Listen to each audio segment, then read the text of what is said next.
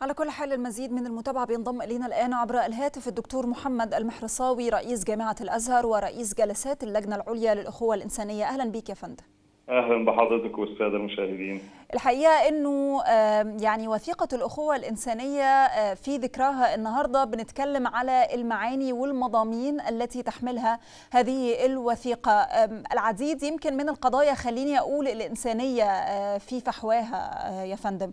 خلينا نتذكر مع حضرتك ما الذي تؤكد عليه هذه الوثيقة. طبعا هذه الوثيقة وتوقيعها يعني الدعوة إلى الاندماج الإيجابي والتعايش السلمي وقبول الآخر ونشر ثقافة المحبة والسلام والتسامح ونشر فكر وثقافة الحوار وقبول الآخر ونبذ ثقافة العنف والكراهية وتطبيق مبدأ المواطنة بين البشر دون تمييز عقدي أو جنسي أو لغوي وتذكرين حضرتك أن الأزهر منذ عدة أعوام أقام مؤتمرا عالميا عن المواطنة ورفض مصطلح الأقلية. أيا كانت هذه الأقلية لأن مصطلح الأقلية يدعو إلى الانعزالية والتهميش وطالب بأن يكون المصطلح البديل هو مصطلح المواطنة. بمعنى أن الكل في الوطن سواء. وهذا هو ما تدعو إليه وثيقة الأخوة الإنسانية.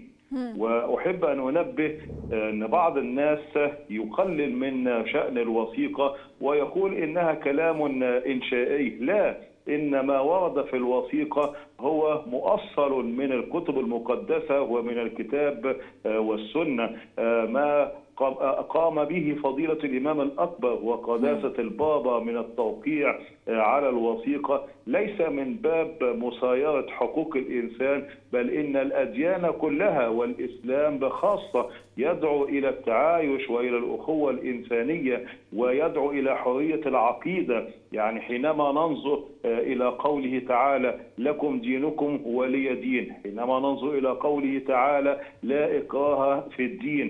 فمن شاء فليؤمن ومن شاء فليؤمن فليكفر. أليست هذه الآيات دعوة إلى. حرية العقيدة؟ وحرية العقيدة لا تعني الإيمان بالآخر لا حرية العقيدة تعني أنا أحترمك ولكن لا تطالبني بأن أؤمن بما تؤمن به وأنت مطالب بأن تحترمني ولكن لا. تطالبني بأن أؤمن بما تؤمن به ولكن هل نقف عند هذا الحد؟ لا لابد من التعايش. انظروا إلى قوله تعالى يا أيها الناس لم يقل يا أيها المؤمنون يا يا أهل الكتاب إنما قال يا أيها الناس بغض النظر عن العقيدة واللون. والدين والعرق والجنس يا أيها الناس إنا خلقناكم من ذكر وأنثى وجعلناكم شعوبا وقبائل لماذا؟ لتعارفوا يعني ليحدث بينكم اندماج وتعايش صحيح. وسلام وأمان وألفة ومحبة قد إيه يا دكتور كان بيتم تحميل الأديان السماوية العمليات الإرهابية اللي كانت بتحدث في وقت سابق والتي ما زالت تحدث الحقيقة في العديد من الدول؟ وقد إيه أيضا كان في فترة من الفترات كان الكل بيحاول فيها أو بعض خليني أقول الجماعات تعمل على التفرقة بين الأديان أو فكرة الفتنة الطائفية. طبعا أنا بذكر هذه الأشياء تحديدا لأنه أيضا تم ذكرها في أه، وثيقة الأخوة الإنسانية.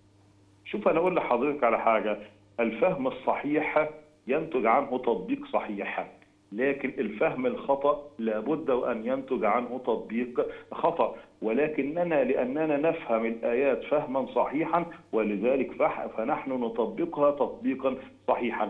ووثيقة الأخوة الإنسانية ليست بدعا من الأمر فلنا في رسول الله الأسوة الحسنة. ووثيقة المدينة لا تخفى على كثيرين. اذا قبول الآخر ليس مصطلحا حديثا بل هو موجود في صميم الإسلام. ونحن ندعو إلى قبول الآخر. ولذلك أنا معي الآن ملخص لوثيقة الأخوة الإنسانية خاتمة ما ورد في في الوثيقة. وإن شئت أن أذكر هذه الايه الكلمات. في بنود يا فندم اتفضل طبعا. ورد في ختام الوثيقة لتكن هذه الوثيقة دعوة للمصالحة والتآخي بين جميع المؤمنين بالأديان بل المؤمنين وغير المؤمنين وكل الأشخاص ذوي الإرادة الصالحة. لتكن وثيقتنا نداء لكل ضمير حي ينبذ العنف البغيض والتطرف الأعمى ولكل محب لمبادئ التسامح والإخاء التي تدعو إليها الأديان وتشجع عليها لتكن وثيقتنا شهادة لعظمة الإيمان بالله الذي يوحد القلوب المتفرقة ويسمو بالإنسان لتكن رمزا للعناق بين الشرق والغرب والشمال والجنوب وبين كل من يؤمن بأن الله خلقنا لنتعارف ونتعاون ونتعايش كاخوه متحابين هذا ما نأمله ونسعى إلى تحقيقه. بغية الوصول إلى سلام عالمي ينعم به الجميع في هذه الحياة. هذه خلاصة الوثيقة. أظن أن هذا الكلام لا يختلف عليه اثنان طبعاً. ولا تختلف عليه العقائد. نعم. طيب خليني يمكن أتكلم مع حضرتك بمزيد من التفاصيل.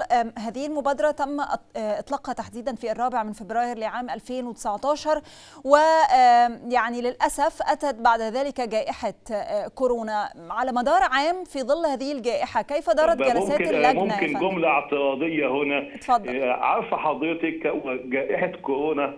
هذه الجائحة حينما ألمت بالعالم لم تفرق بين دولة ودولة صحيح. وبين عقيدة وعقيدة وجنس ولون ولغة إنما اجتاحت العالم كله إذا هذه ال- الجائحة تؤكد على أن لابد من وجود وثيقة تجمع العالم أجمع لمواجهة هذا الوباء.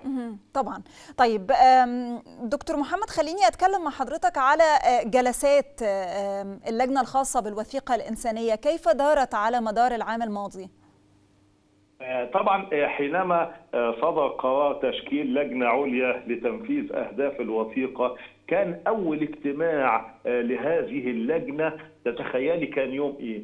كان يوم الحادي عشر من سبتمبر عام 2019 مم. طبعا آه، هذا ال- اليوم الحقيقة ده يوم مميز يعني آه، لاطلاق هذه يوم الوث- مميز. يعني ليكون أول لجنة آه، للوثيقة آه، الإنسانية ولذلك فيه رمزية مم، طبعاً. عجيبة جدا في اختيار هذا التوقيت هذه الرمزية هي أنه إذا كان هناك من خص هذا التوقيت سابقا ليكون دعوة إلى الموت فيزهق الأرواح مم. ويريق الدماء وينشر الفزع والخوف صحيح. بين الناس فلسان حالنا يقول إننا عقدنا اجتماعنا الأول في هذا التوقيت ليكون دعوة إلى الحياة والسلام العالمي والأخوة الإنسانية. صحيح طبعا أنا بشكرك يا فندم على كل هذه التفاصيل وعلى هذا الحديث. كنت ضيفي عبر الهاتف الدكتور محمد المحرصاوي رئيس جامعة الأزهر ورئيس جلسات اللجنة العليا للأخوة الإنسانية. شكرا جزيلا لحضرتك يا فندم.